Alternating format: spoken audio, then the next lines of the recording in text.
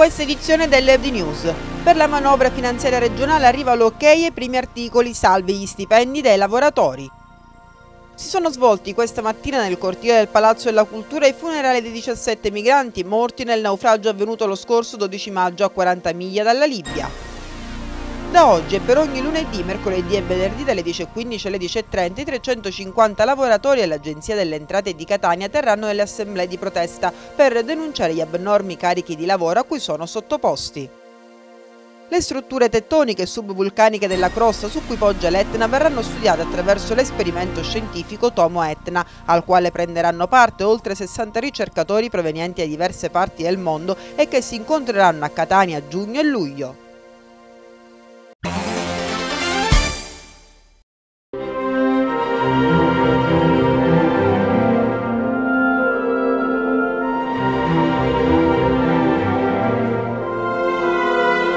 Sansar Tappeti Persiani, Lungomare Catania, valori che il tempo non cambia.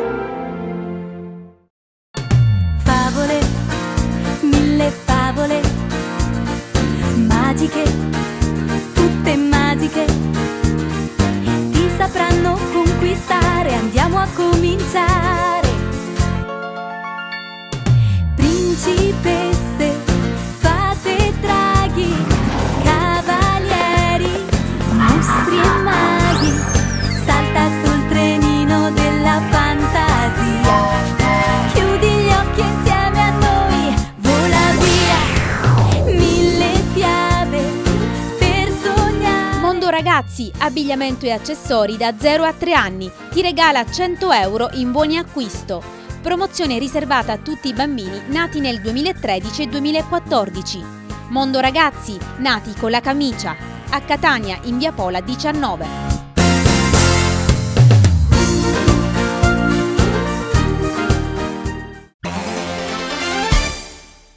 Manca ancora l'ok definitivo a tutta la manovra finanziaria, ma ieri l'ARS ha dato il via libera agli articoli che prevedono i finanziamenti per i forestali, i primi 18 milioni ma ne serviranno altri 20, dipendenti dell'ESA, dell'EAS e dei consorsi di bonifica. E soprattutto l'ARS è intervenuta sulle modalità di erogazione del reddito per gli ex PIP di emergenza Palermo, una norma, quella approvata alcuni mesi fa in finanziaria che aveva fatto molto discutere e che è stata riscritta dall'Aula. Per far parte del bilancio il limite di reddito da considerare non sarà quello dei 20.000 euro ISE, ma la stessa cifra calcolata come reddito individuale. Nel caso del superamento di questo limite verrebbe calcolato il reddito ISE. In quel caso il limite è stato innalzato a 40.000 euro. Alcuni deputati poi hanno accennato alla possibilità di presentare un emendamento che prevede il reinserimento nel bacino di alcuni PIP esclusi dal governo perché responsabili di alcuni reati. Su questo punto però l'esecutivo ha preso tempo rimandando tutta una discussione da portare avanti oggi in commissione lavoro.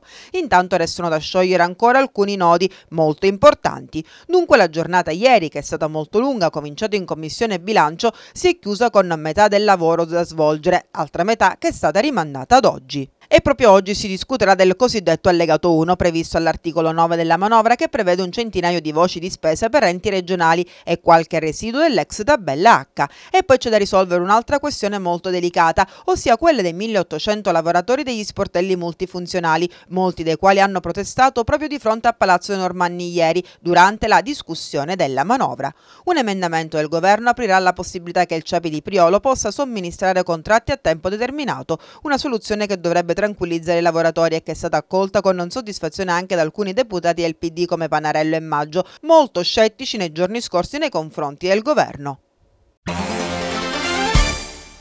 Presunte irregolarità potrebbero aver caratterizzato l'elezione del primo cittadino a Motta Santa Anastasia ed è per questo che sei presidenti di seggi su nove sono stati convocati all'ufficio centrale per l'elezione del sindaco del consiglio comunale dopo aver vagliato i verbali come da prassi. Proprio analizzando i verbali si sono notate alcune irregolarità ed è per questo che si è deciso di parlare con i presidenti, anche perché i voti che dividono l'attuale vincitore Anastasio Carrà e il suo maggiore competitore Daniele Capuana sono solo 13. Capuana tuttavia non ha presentato nessun ricorso per il momento e aspetta dunque che i presidenti vadano a parlare all'ufficio centrale per l'elezione.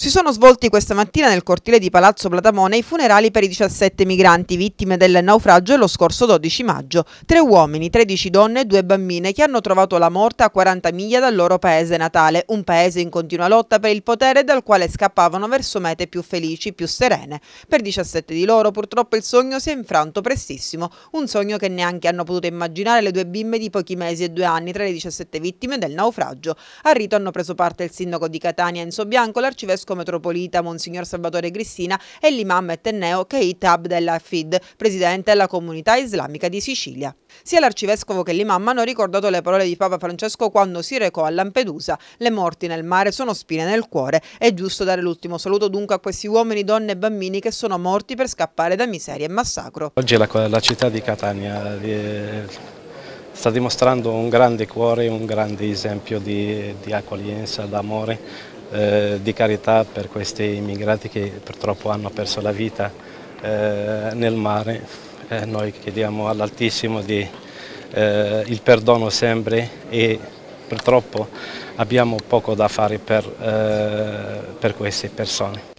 Tante anche le autorità civili e militari presenti, insieme a rappresentanti della Caritas e della comunità di Sant'Egidio che hanno portato la loro testimonianza. È intervenuto anche un rifugiato scampato alla morte durante un naufragio. Io sono molto felice di avere l'opportunità di parlare davanti a tutti voi, ha detto questo ragazzo di nome Felix. Quando mi trovavo in Africa, nel Ghana, non conoscevo nulla della pace, pace che invece ho conosciuto qui a Catania entrando a far parte della comunità di Sant'Egidio e siamo noi singoli individui ad avere la responsabilità di portare la pace nelle famiglie, nelle comunità, nel mondo ha detto ancora Felix e ha aggiunto adesso ho un sogno, sostenere i poveri, i bisognosi e portare la pace nel mondo, perché è un diritto fondamentale per tutti, perché ogni singolo individuo desidera avere la pace nella propria vita. Sarò veramente felice se tutti uniremo le mani per portare la pace nel mondo, perché uniti ci alzeremo, disuniti cadremo. Yes, peace is uh, responsibility for everybody in the world.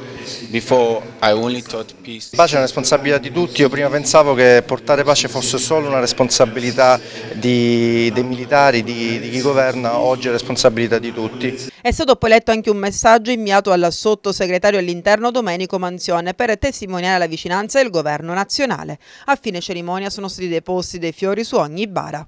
Il comune si farà carico anche della tumulazione in un'area centrale adeguata e dignitosa del cimitero e nell'area verrà eretto un piccolo monumento, una scultura in pietra lavica realizzata dall'Accademia di Belle Arti di Catania. Un gesto, ha detto il sindaco Bianco, che testimonia ancora una volta la grande partecipazione della città a questo evento così doloroso. Per me è stato particolarmente toccante vedere insieme l'arcivescovo di Catania, l'imam, il rappresentante della religione copta, tutti insieme a pregare tutti insieme, il Padre nostro e la preghiera, e la preghiera musulmana, tutti insieme come le religioni non possono non essere di fronte a questi drammi. Una volta tanto Catania è stata all'altezza di una sfida e di un, eh, di un segno di civiltà. Voglio lanciare un appello al governo nazionale e all'Europa questa non è una questione che può essere lasciata alla responsabilità della Sicilia o della città di Catania o di altre città. Occorre che l'Europa faccia sino in fondo la sua parte, cominciando a collaborare dai paesi da cui partono questi disperati, perché è lì che bisogna fare la propria azione. E poi quando sono qui naturalmente accoglierli in un modo civile, soprattutto chi viene da paesi come, come l'Eritrea, come la Siria, da altri paesi dove c'è una condizione veramente drammatica. È il nostro dovere e dobbiamo onorarlo sino in fondo era recato sotto casa di colui che gli aveva venduto l'auto per risolvere con le buone maniere una controversia su una contravvenzione al codice della strada, ma è finita in tragedia la serata di un 32enne pregiudicato di Bronte. Si tratta di Spukes Vincenzo che si era recato sotto casa del precedente proprietario per intimarli di pagare la contravvenzione. Per farlo Spukes si era fatto forte della presenza di altri due coetanei, di cui uno pregiudicato. Intorno alla mezzanotte i tre sono giunti sul posto e hanno trovato il figlio 37enne dell'uomo con il quale Spukes sarebbe subito venuto alle mani. Svegliato dalle urla, Salvatore Portaro, pensionato settantenne, uscito subito di casa e accortosi dell'aggressione nei confronti del figlio, si sarebbe fatto parte attiva nella colluttazione fino a tirare fuori un coltello a serramanico, verosimilmente tenuto in tasca, ed a coltellare al petto Spukes. La vittima, sposato e padre di tre figli, colpita all'altezza del cuore, sarebbe subito stramazzata a terra e a nulla sono valsi i tentativi di rianimarlo da parte parte dei sanitari del 118 immediatamente giunti sul posto. Informati dell'accaduto, i carabinieri della stazione di Bronte si sono subito recati sulla scena del delitto e presso il locale pronto soccorso dove era presente anche l'anziano che nella circostanza aveva riportato ferite da taglio alle braccia. Intervenuti sul posto anche i militari del nucleo operativo della compagnia carabinieri di Randazzo che hanno assunto la direzione delle indagini supportati dai militari della sezione investigativa scientifiche nel comando provinciale di Catania. Acquisiti i primi elementi utili a una prima ricostruzione dei fatti, i militari hanno interrogato i testimoni presenti e, incalzato dalle domande dopo un lungo interrogatorio, il pensionato ha confessato l'omicidio. Per lui fino a quel momento incensurato si sono aperte le porte del carcere di Catania Piazza Lanza. Disposta l'autopsia sul corpo della vittima che nel 2009 era già scampata ad un agguato mentre si trovava a Maletto in compagnia di un noto pregiudicato mafioso di Bronte. Sul posto sono stati inoltre rivenuti e sequestrati l'arma del delitto e altri elementi ritenuti utili. Le indagini dei carabinieri sotto la direzione della Procura della Repubblica di Catania proseguono per accertare l'esatta dinamica dei fatti ed eventuali profili di responsabilità degli altri soggetti presenti. Incidente stradale mortale la notte scorsa a Catania. Un centauro alla guida di uno scooter di grossa cilindrata in Piazza dei Martiri, nella zona vicino alla stazione, ha perso la vita la notte scorsa intorno alle 4.30. La vittima, di cui non si conosce l'identità perché non aveva con sé alcun documento di riconoscimento, per cause ancora da accertare, ha perso il controllo del ciclomotore e si è schiantato sull'asfalto. Sul posto gli operatori del 118 e dei vigili del comando di Catania. Sulla vicenda dell'uomo che ha tentato lunedì di darsi fuoco cospargendosi di benzina dinanzi agli uffici IPSI di Catania, interviene il Codacons, che ha presentato un esposto alla Procura della Repubblica presso il Tribunale di Catania. L'uomo, spiega l'avvocato Isabella Altana, direttore dell'ufficio legale del Codacons, ha platealmente e pericolosamente protestato perché, invalido al 100%, si è visto revocare la relativa pensione precedentemente riconosciuta e accordata. Occorre far chiarezza sulla vicenda, continua in una nota il Codacons Cons Sicilia per capire in base a quali principi medici un uomo viene riconosciuto invalido al 100% e successivamente giudicato guarito da una o più patologie precedentemente invalidanti. Non si tratta peraltro di un caso isolato di pareri fortemente contrastanti di diverse commissioni mediche, per cui bisogna far luce, oltre che sul caso specifico, sulle procedure adottate per il riconoscimento delle invalidità il Codacons Sicilia ha inoltre richiesto alla Procura della Repubblica di accertare eventuali reati di omissione o abuso da parte di pubblici dipendenti, riservandosi di richiedere la costituzione di parte civile. La Guardia di Finanza di Palermo ha dato esecuzione ad un'ordinanza di applicazione della misura cautelare degli arresti domiciliari emessa dal GIP del Tribunale di Palermo su richiesta della locale Procura della Repubblica nei confronti di un imprenditore quarantenne palermitano titolare di due aziende operanti nel settore dei compro oro con numerosi punti vendita dislocati nella città. L'indagine ha ad oggetto il reato di estorsione commesso dall'imprenditore che, secondo quanto accertato dai militari del nucleo di polizia tributaria, approfittando della crisi economica e della progressiva riduzione dei posti di lavoro, avrebbe costretto alcuni tra i propri dipendenti, mediante la minaccia di licenziamento, ad accettare condizioni lavorative contrarie alle leggi ed ai contratti collettivi e consistenti nella specie nell'obbligo di restituire a se stesso ed in contanti parte della loro retribuzione. Proprio con riferimento all'ipotesi ipotesi estortiva le indagini dei finanzieri, partite da alcuni controlli fiscali effettuati nei confronti delle aziende di proprietà dell'indagato e finalizzati a verificare l'osservanza delle disposizioni in materia di esercizio dell'attività professionale di commercio dell'oro, si sono poi concentrate sull'analisi di alcuni file rinvenuti nel corso degli accessi fiscali eseguiti e contenenti alcuni prospetti riepilogativi degli importi restituiti dai dipendenti rispetto alle proprie retribuzioni. In alcuni casi i finanzieri hanno rilevato che la restituzione della retribuzione risultava essere di un ammontare pari addirittura al 50% rispetto a quella indicata in busta paga. In altri casi veniva pretesa la restituzione della tredicesima o della quattordicesima mensilità. Parallelamente le indagini delle fiamme gialle palermitane hanno permesso di accertare che il soggetto, al fine di realizzare ingenti profitti, acquistava oggetti di dubbia provenienza, compiendo operazioni idonee a ostacolare l'identificazione consistenti nella fusione dei metalli in lastre d'oro. Nel corso dei relativi approfondimenti è stata rinvenuta all'interno di una cassaforte allocata in uno dei punti vendita una verga d'oro grezzo dal peso di circa 5 kg, priva di marchio identificativo e del valore di mercato di oltre 150.000 euro. Il sequestro dell'oro è stato convalidato dalla locale Procura della Repubblica, che in seguito ne ha disposto la concentrazione per la custodia presso gli uffici della Banca d'Italia. Per tali condotte i finanzieri hanno segnalato all'autorità giudiziaria l'imprenditore anche per il reato di ricettazione e per aver falsificato i registri di pubblica sicurezza, essendone obbligato alla tenuta per legge.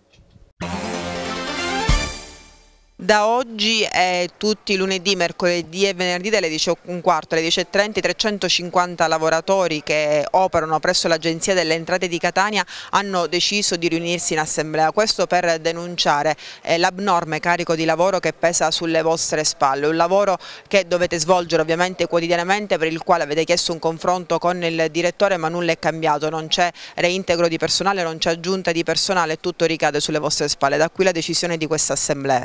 Perfetto, praticamente ha detto tutto lei, è giustissimo. Noi abbiamo tenuto un'assemblea con eh, tutti i lavoratori dell'agenzia, la direzione provinciale dell'Agenzia delle Entrate di Catania, a seguito di eh, tre incontri che abbiamo avuto con la direzione per denunciare i carichi di lavoro eccessivi che ci sono ormai da diverso tempo in eh, questo ufficio. Vorremmo lanciare eh, un po' un appello ai contribuenti a dire che non è una cosa, ci dispiace poter creare delle problematiche, ma lei deve calcolare che nell'arco di un paio di anni abbiamo avuto un terzo dell'ufficio che è andato in pensione e non sono arrivate eh, nuove forze o quelle che sono arrivate sono veramente pochissime rispetto a quello che è la mole di lavoro all'interno dell'ufficio. Abbiamo fatto, ripeto, tre riunioni con il direttore provinciale che non hanno sortito alcun effetto, al che abbiamo deciso di fare l'assemblea dei lavoratori e proprio lavoratori hanno deciso di far proclamare a noi eh, organizzazioni sindacali lo stato di agitazione. Si è sottolineato il fatto che chi è andato in pensione non è stato reintegrato, allora quante le unità che servirebbero a Catania? Le unità che servirebbero a Catania, e parliamo di tutta la provincia di Catania, sono veramente notevoli, anche perché ampie sono le esigenze lavorative. Sappiamo che quest'oggi eh, l'Agenzia delle Entrate deve svolgere un compito fondamentale, che è quello appunto del eh, recupero sotto il profilo fiscale, aspetto che anche a livello governativo è eh, di eh, grande eh, importanza ed è soprattutto stato sottolineato con ampia eh, determinazione da parte anche del governo. Quindi è chiaro che l'esigenza di personale diventa sempre più forte anche in virtù degli obiettivi che vengono imposti sia a livello nazionale che a livello regionale. Noi oggi siamo qui per dire basta ad un sistema in cui le persone i lavoratori non vengono più considerati come tali ma vengono considerati come numeri, come numeri che devono realizzare obiettivi oggi assolutamente impossibili da realizzare. Ehm, abbiamo bisogno di personale, abbiamo bisogno di un riconoscimento di una maggiore dignità del lavoratore e abbiamo eh, ovviamente bisogno anche che da parte appunto dei dirigenti ci sia una consapevolezza di questa situazione, non si miri soltanto a realizzare quelli che sono propri obiettivi anche di carattere personale ed economico, ma eh, si cerchi di garantire un'effettiva qualità del servizio eh, mh, correlata anche a quelle che sono le esigenze del personale, gli strumenti che il personale ha a disposizione, ovviamente il clima che si vive all'interno delle agenzie del, eh, delle, delle, entrate e che è un clima devo dire di grande tensione, è un clima di, è un clima di grande disagio, è un clima dove i lavoratori veramente sotto pressione, sotto un enorme stress lavorativo stanno veramente subendo eh, le conseguenze eh, di, una, eh, di, una, di, uno stato eh, personale, psicologico veramente grave e che sta compromettendo quello che è tutto l'intero sistema, l'intero apparato lavorativo. I pubblici esercizi e gli stabilimenti balneari del lungomare associati alla FIPE Confcommercio Catania, in merito alla chiusura al traffico veicolare del lungomare, entrano immediatamente in stato di agitazione per un provvedimento che viene già istituito prima del tavolo di concertazione, in assenza totale di attività progettuali per le fruizioni di diversamente abili, persone anziane, servizi igienici, attività collaterali e quant'altro, che costituiscono sicuramente un gruppo economico che potrebbe incidere sulle probabili perdite di incassi alle attività inerenti. Dario Pistorio, presidente provinciale FIPE Confcommercio, ricorda che tutti i pubblici esercizi e gli stabilimenti balneari della zona hanno in carico circa 600 addetti che nelle more potrebbero avere una riduzione di orari o una perdita del posto di lavoro. Non si attenua la crisi di turismo e commercio, come dimostra il fatto che nei primi quattro mesi del 2014, secondo i dati dell'osservatorio Confesercenti, nei due settori hanno cessato l'attività 44.813 imprese nello stesso periodo. Le nuove aperture nel commercio e nel turismo sono state solo 28.016 per un saldo finale negativo di 16.797 unità. Entrambi i settori registrano più cessazioni che aperture. Nel commercio il saldo è negativo per 12.016 unità mentre nel turismo è di meno 4.781 attività. Il settore del turismo in particolare sembra ancora lontano dall'uscita della crisi. Nei primi quattro mesi dell'anno il comparto alloggio, comprensivo di alberghi e hotel, ha visto chiudere 972 imprese, 8 al giorno, e solo 389 aperture per una perdita secca di 583 unità. Negativo anche il dato dei bar, che da gennaio registrano a fronte di 2.875 aperture ben 4.872 chiusure, 40 al giorno, e un saldo negativo di 1.990 97 imprese. Ancora peggio i ristoranti. Nel periodo in questione ne hanno chiuso circa 44.000 ogni giorno, per un totale di 5.334 cessazioni di impresa, con forti problemi soprattutto in Sicilia, Campania e Lazio. Un rosso che il pur alto numero di nuove aperture, 3.133, non riesce a colmare, portando il comparto a perdere 2.201 imprese. Per quanto riguarda il commercio, per Confesercenti sembra essersi ormai avviato verso una fase di destrutturazione che premia i comparti che presentano meno spese di impresa. Cala infatti il dettaglio in sede fissa, che vede nei primi quattro mesi dell'anno 20.297 chiusure e un saldo negativo di 10.945, mentre aumenta il commercio fuori dai negozi. Le imprese che vendono attraverso internet mettono a segno un sostanziale equilibrio, più 73, mentre il commercio su aree pubbliche cresce di 530 unità e si conferma come l'unico comparto anticrisi del commercio. Nonostante la cattiva partenza, il 2014 per Confesercenti potrebbe portare una timida variazione positiva dei consumi, nell'ordine dei 3 miliardi, anche grazie al bonus fiscale ai lavoratori dipendenti.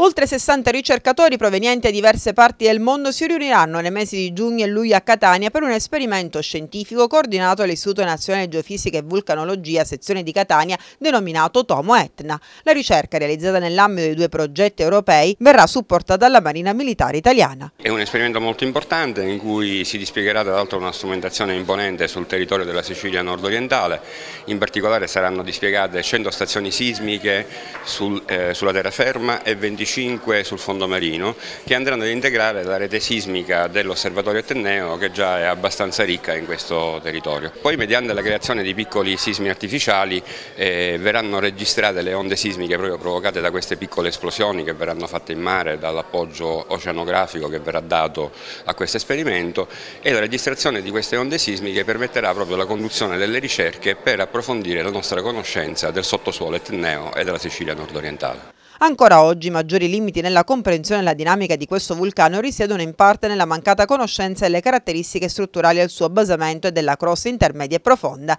Infatti, sebbene l'intera Sicilia sia stato oggetto di campagne pionieristiche di sismica crostale profonda che hanno permesso di ottenere buone informazioni sulle strutture tettoniche offshore, la conoscenza delle principali faglie presenti nella terraferma è ancora decisamente carente.